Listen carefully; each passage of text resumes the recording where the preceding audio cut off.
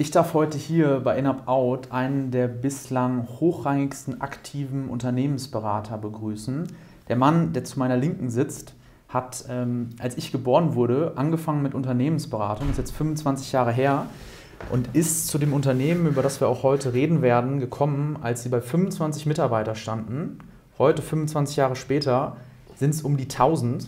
Und ich freue mich da sehr, in der Folge mal ein bisschen die Vita von einem Vorstand äh, zu gehen und begrüße deswegen sehr herzlich heute Alfred Neugebauer. Hallo, Herr Neugebauer. Hallo, ich grüße Sie, Herr Vielen Dank. Gerne.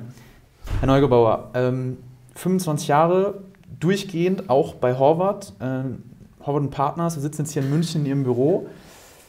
Ähm, sagen Sie vielleicht mal ganz kurz, wie kam es zu dieser außergewöhnlichen Karriere?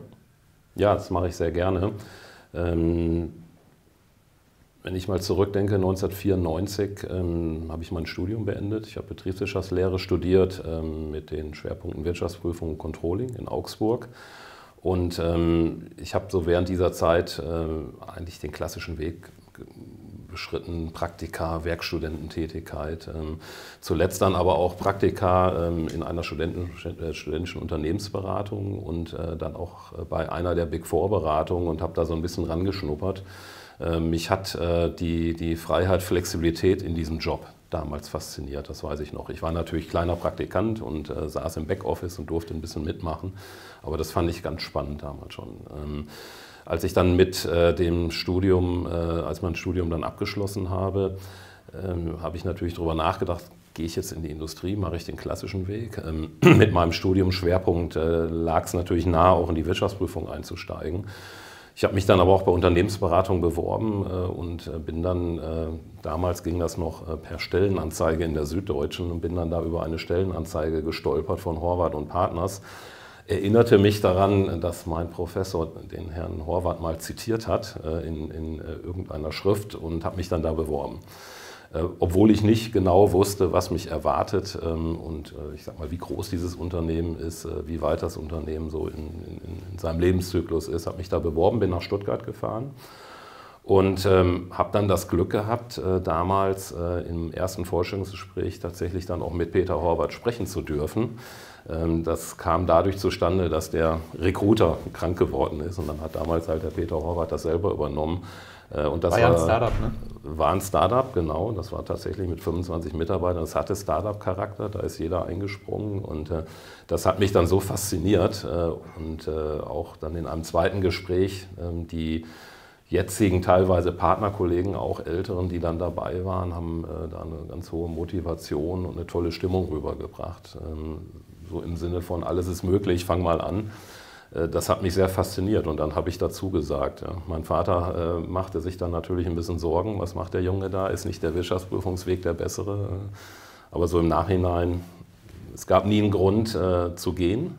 Ähm, es war, war, eigentlich eine sehr, sehr tolle Entscheidung für mich ja, und für meinen beruflichen Weg. Was waren ja. damals die Erwartungen, die Sie als Studierende in den 90ern an Unternehmensberatung hatten? Was, was ging in Ihrem Kopf vor, als Sie gedacht haben, okay, das ist jetzt ein Beruf, den ich spannend finde?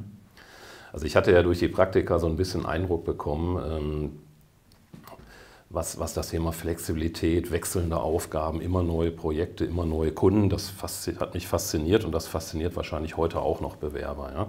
Ja? Äh, dass sie wissen, sie gehen nicht in eine bestimmte Rolle für drei, vier Jahre, machen dann den nächsten Karriereschritt, sondern dass da sehr viel Agilität, sagt man ja heute auch drin ist, ja? So, dass man sich auch sehr schnell verändern kann. Und das hat mich damals angelockt. Äh, ich wusste natürlich nicht so genau, was dann da passiert. Äh, ich hatte durch die Praktika so einen leichten Eindruck, ähm, aber natürlich weiß man dann nie genau, was passiert. Und ähm, als ich dann bei Horvath tatsächlich angefangen habe, ähm, habe ich das erwartet, was, auf, auf, was ich da getroffen bin? Ähm, nein. Ähm, es, war, es war von den unternehmerischen Freiheiten in diesem Start-up noch, noch besser, als ich dachte. Aber auf der anderen Seite, ähm, ich habe ja gedacht, mit meinem Studium weiß ich was und habe wirklich was gelernt. Und in der Praxis war es dann anders. Also da fängt man, man lernt natürlich, ähm, ich sag mal, wie man sich äh, ausdrückt, wie man arbeitet, wie man sich strukturiert. Ähm, ich habe dann aber tatsächlich, was die fachlichen Inhalte angeht, nochmal relativ vorne angefangen, ja. obwohl es die Themen waren, die ich auch im Studium vertieft hatte. Ja. Also das war für mich so eine Erkenntnis, äh, wenn man meint, man kommt aus dem Studium und äh, ist bereit, äh, jetzt die steile Karriere zu starten, dann schadet es nicht, nochmal ganz tief zu graben in den ersten Jahren, um, um sich da auch ein gutes Fundament zu erarbeiten. Was waren die ersten Fähigkeiten, wo Sie gemerkt haben, okay, die gab es in der Uni nicht, die gibt es wirklich nur in der Praxis, in den ersten ja. Projekten dann anzueignen? Das ist ganz spannend. Ähm, bei mir war es damals so, dass, dass äh, wir in, in den Trainingsprogrammen, die wir bekommen haben, da ging es um Moderation, um Präsentationstechnik. Das haben wir an der Universität ja damals nicht gelernt. Was wir konnten, war, ich sage es mal, Kostenrechnung. Ja? Ähm, das hat sich heute tatsächlich gedreht. Wenn ich da mal einen Vergleich zu heute machen kann, heute sind die Absolventen, die zu uns kommen, da perfekt ausgebildet. Ja. Also wir brauchen ganz wenig Trainings äh, in diesen ganzen Themen wie, wie also Skill-Training, ja, Social Skills und ähnliches oder Beraterskills, wie wir das nennen. Und der Schwerpunkt liegt bei uns jetzt eher auf den fachlichen Trainings tatsächlich. Also da hat äh, sich deutlich was verändert. Äh, die, die jungen Kollegen äh, sind deutlich besser ausgebildet, vorbereitet auf den Job, ja, was, was dieses Thema, wie, wie agiere ich, äh, wie gehe ich vor, wie strukturiere ich Projekte, wo wir mehr trainieren, ist dann das ganze Thema Fachlichkeit. Was heißt fachliche Trainings? Was sind konkrete Methoden, die Sie da an die Hand geben? Also wir haben ja verschiedene fachliche Schwerpunkte in, in unseren Angeboten, die wir an die Kunden geben. Und ähm, wenn Sie, ich mache mal so ein paar Beispiele, also wenn Sie jetzt äh, ein Einkaufsprojekt einem Kunden anbieten und äh, Warengruppen optimieren müssen, das können Sie nicht, das haben Sie nicht an der Uni gelernt. Ja? Also da muss man sich mit einem erfahrenen Berater hinsetzen und der agiert dann auch als Trainer und ähm, bringt das einmal auf den Projekten natürlich unseren Mitarbeitern bei, aber dann auch nochmal in Trainings. Oder wenn Sie in unser Kernthema Controlling reingehen, wenn Sie dort ähm, beispielsweise ein S4 HANA-Projekt auf der Finance-Seite begleiten wollen, dann müssen Sie halt sehr, sehr tief äh, in den fachlichen Themen drin sein. Der Kunde erwartet ja von uns, dass wir es besser wissen, verstehen als er in dem Moment, diese Fachlichkeit und dass wir dieses Input, diesen Input dann auch geben in das Projekt. Ja, und das müssen wir natürlich unseren Mitarbeitern auch beibringen. Mhm. Hat damals der Herr Horvath, als Sie da im Bewerbungsgespräch vor ihm saßen, hat er damals auch schon sowas wie einen Brain-Teaser reingeworfen oder irgendwie eine Case-Study? Äh, ehrlich gesagt, das kam dann im zweiten Gespräch. Also das war äh, ein sehr freundliches Gespräch. Der hat natürlich so ein bisschen Werdegang abgeklopft. Ich glaube, den Professor Horvath, äh, ich habe ich hab ihn nie gefragt, ja, aber ich glaube, äh, ihm war wichtig, dass äh, der Mensch, der da kommt, äh, in, in, in dieses Team passt.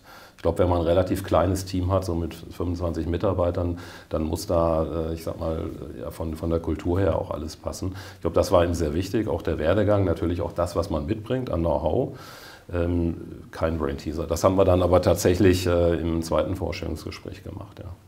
Heute sind Sie Vorstand bei Horvath, ziehen davon ganz oben mit Ihren Kollegen die Fäden.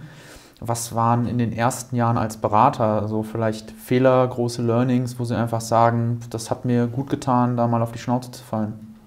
Ja, das ist tatsächlich passiert.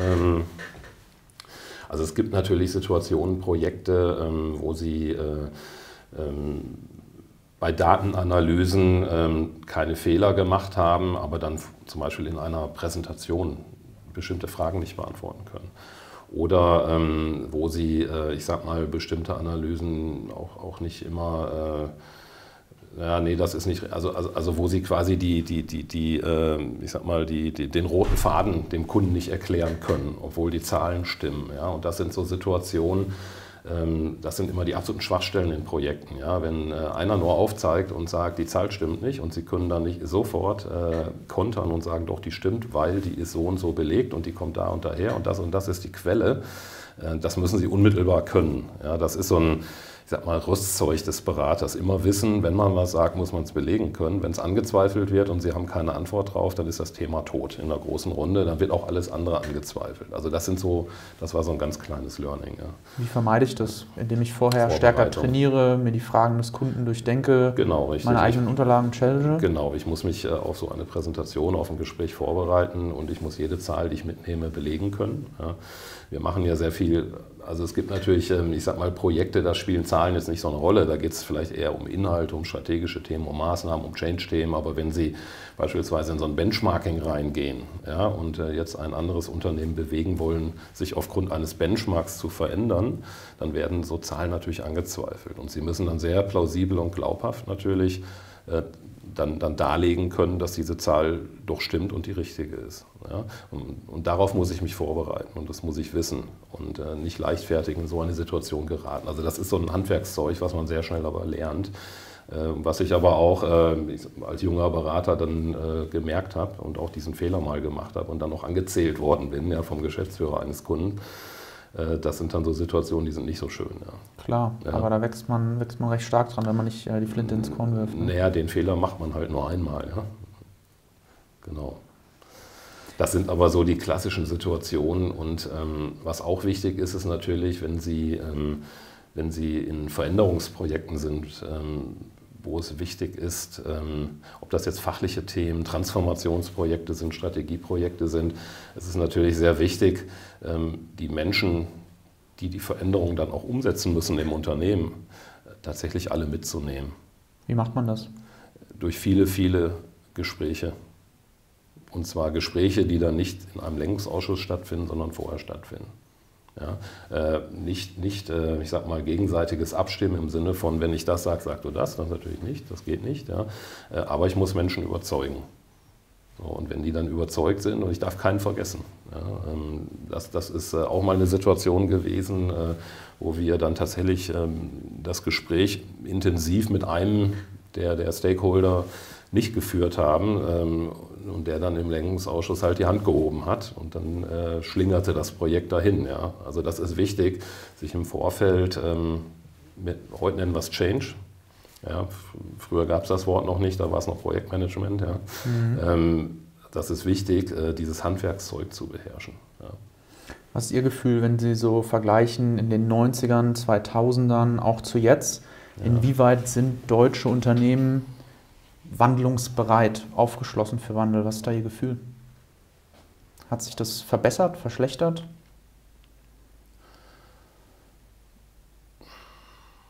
Also ich äh, persönlich stelle jetzt da keine, keine Veränderung äh, fest, tatsächlich.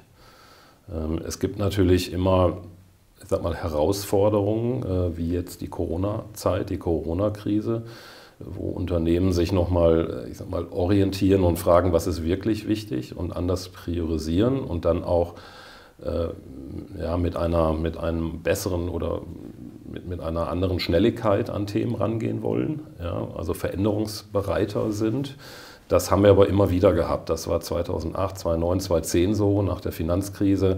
Also so Themen gibt es immer wieder, aber grundsätzlich äh, für das, für die Themen, die wir stehen, die wir beraten, ähm, gibt es da keine große Veränderung. Ja. Okay. Was ist Ihr Gefühl? Hat sich die Rolle mhm. eines Unternehmensberaters vom Vorstandsflüsterer, wie es vielleicht in den 80ern, mhm. 90ern war, heute mehr zu einem Foliensklaven entwickelt, wenn Sie auf die Branche gucken? Also bei uns hat sich, äh, wir waren nie, nie das, äh, was Sie beschreiben, sondern ähm, meine Erfahrung von Anfang an war, dass äh, wir als fachliche, wir sind sehr, ein sehr fachlicher Berater. Ja? Also Kunden kaufen uns ein, um tatsächlich ähm, in fachlichen Themen weiterzukommen, um Controlling-Instrumente, Prozesse weiterzuentwickeln, um ähm, Strukturen in Unternehmen, Organisationsstrukturen, Prozesse weiterzuentwickeln, um beispielsweise ihr Pricing zu optimieren. Äh, das ist Know-how, was sie dort zukaufen. Und ähm, da sind wir Ratgeber. Wir sind aber dann auch immer Prozesstreiber gewesen, diese Themen umzusetzen. Wir sind nicht so sehr Vorstandsflüsterer im Sinne von lieber Vorstand, du müsstest das und das machen. Glaube ich auch gar nicht, dass äh, diese Rolle heute noch so existiert. Mhm. Ja, kann ich gleich noch was zu sagen. Ähm, und auch nicht Folienmaler für den Kunden, ja, sondern ähm, die Kunden, das hat sich schon so ein bisschen verändert, gerade wenn sie ähm, in großen, ich sag mal, mittelständischen Konzernen auch tätig sind.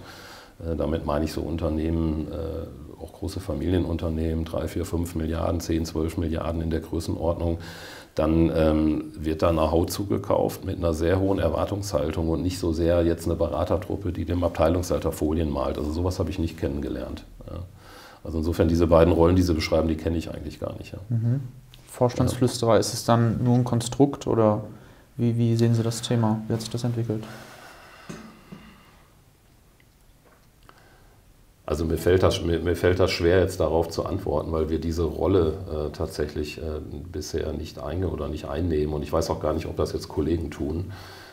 Da, damit unterstellen sie ja, dass äh, Vorstände äh, sich Rat holen bei Beratern, wie sie ihr Unternehmen führen sollen. Klar. Das wird es geben. Ähm, diese Rolle haben wir in der Regel ähm, nicht. Also wir gehen, wir sprechen schon mit Vorständen im Sinne von, äh, die Ergebnissituation ist nicht so, wie sie sein eher sollte. Problem, eher Prozess. Ja, aus, aus, aus unserer Sicht sollten Sie Folgendes tun. Hier und hier sind die Hebel, wir können Ihnen dabei helfen. Also das ist die Art von Gesprächen, ja. Äh, das ist aber weniger ein Einflüstern. Also ich nehme, äh, ich nehme die, die Vorstände, die ich kenne, die Geschäftsführer, die ich kenne, das sind alles Profis, äh, denen muss ich jetzt nichts einflüstern. Ja, die wissen schon sehr gut, was sie wollen. Äh, und die Frage ist dann, was ist der Weg? Und da kann man natürlich als Berater auch helfen und auch äh, mit Erfahrung helfen und sagen, den Weg kennen wir aus einem anderen Unternehmen, der war nicht so erfolgreich, denk doch mal über die Alternative nach. Also ich glaube, das ist dann äh, der Rat, den wir geben können. Verstanden. Ja. Hm, wenn wir noch mal ein bisschen auf Sie zurückgehen, ja, in dem Sinne, die Karriere. Ähm, was machen Sie heute und ja. was waren vielleicht auf dem Weg dahin so die größten Meilensteine? Ja, ich bin heute Partner und äh, Vorstand der Horvath AG. Äh, wir sind ein partnerschaftlich geführtes Unternehmen. Bei uns sind alle Partner gleichberechtigt, ähm, Unternehmer. Ja, und äh, wir, ähm, wir haben einen Vorstand, der auch in gewissen Zyklen dann neu bestimmt wird. Äh, aus der Partnerschaft heraus. Und die Rolle des Vorstandes ist zum einen natürlich weiter Berater sein, weil ich bin Berater äh, mit, mit äh, ja, äh, allem, was ich kann und tue. Und ich liebe diesen Job.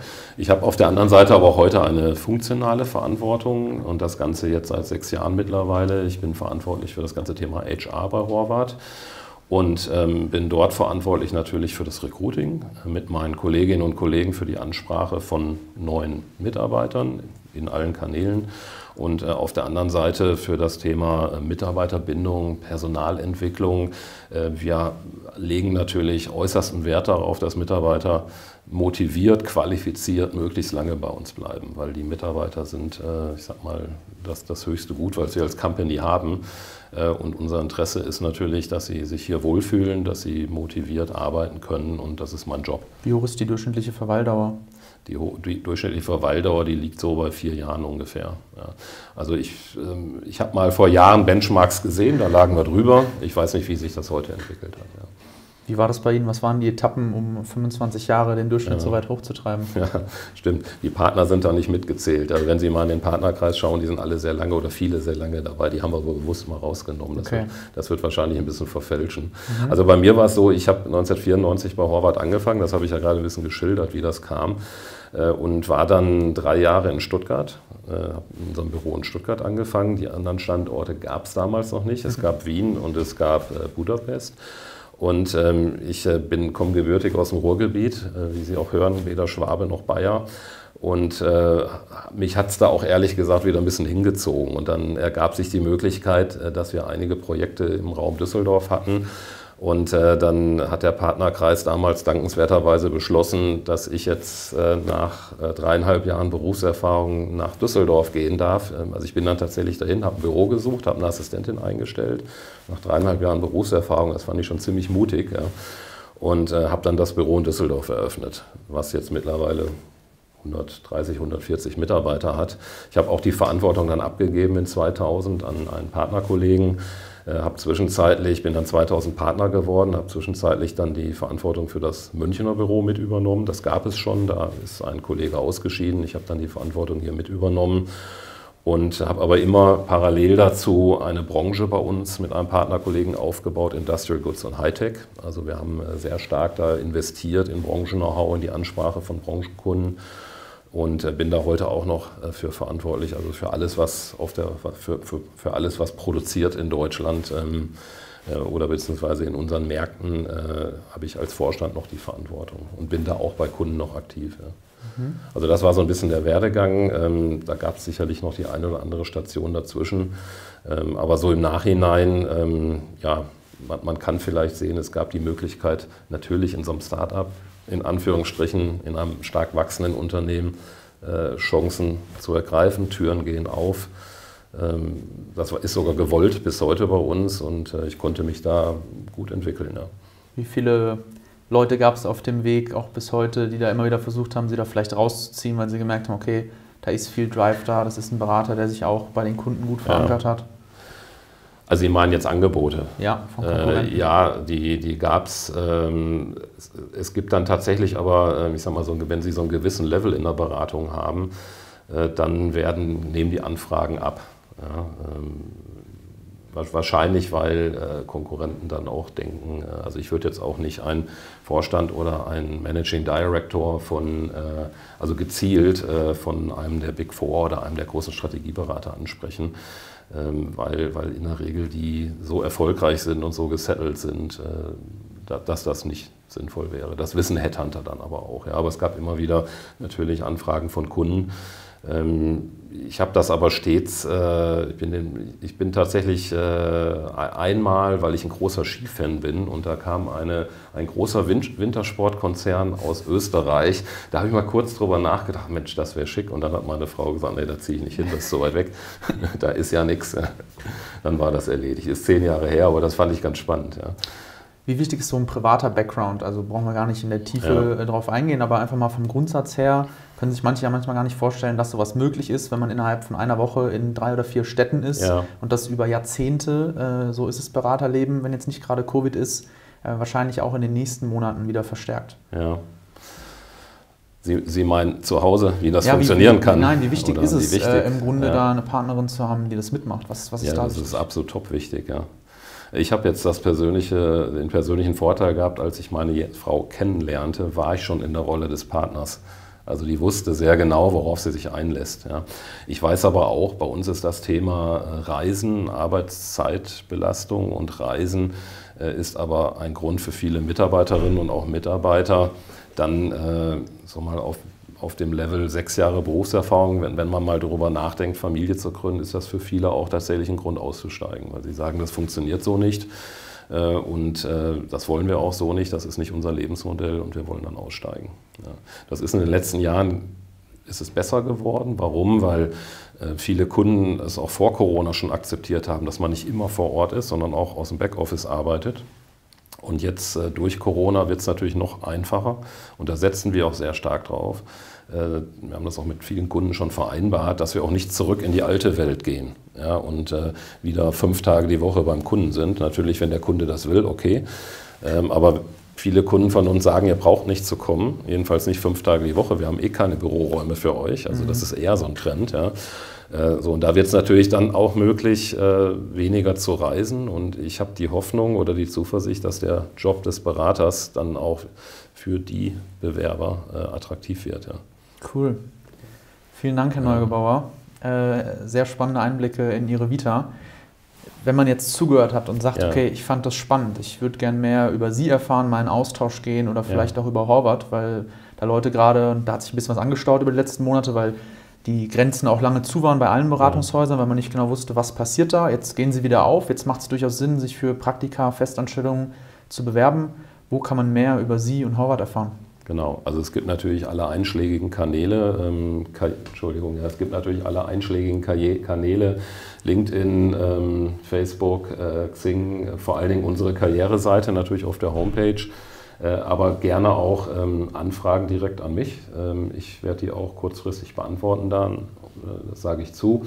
Und ich freue mich natürlich über viele Ansprachen. Ja, wir halten es mal gezielt, Interesse. wir packen mal Ihr LinkedIn rein, wir packen mal die Karriereseite ja, rein. Gerne, sehr gerne. Dann äh, ist ein Fokus da, dann ja, können wir auch damit rechnen, dass da Leute äh, den richtigen Schritt gehen. Sehr gerne. Deswegen, wir haben uns so begrüßt. Äh, wir verabschieden uns so. Herzlichen Dank, Herr Neugebauer. Vielen Dank. Jetzt seid ihr gefragt, gebt gerne mal euer Feedback zu diesem Interview. Wie gesagt, ähm, als aktiver Berater auf der Ebene, äh, einer der ersten, der sich bereit erklärt hat, äh, so offen zu sprechen, bin ich sehr dankbar für, fand ich sehr authentisch. Und äh, jetzt bin ich auf euer Feedback gespannt. Äh, checkt ansonsten auch gerne weitere Folgen, wenn ihr hier beim Podcast zuhört oder wenn ihr bei YouTube mit dabei seid, um solche Interviews äh, fortzuführen. Deswegen cool, dass ihr mit dabei wart und bis zum nächsten Mal, wenn es wieder heißt Let's Talk About Consulting.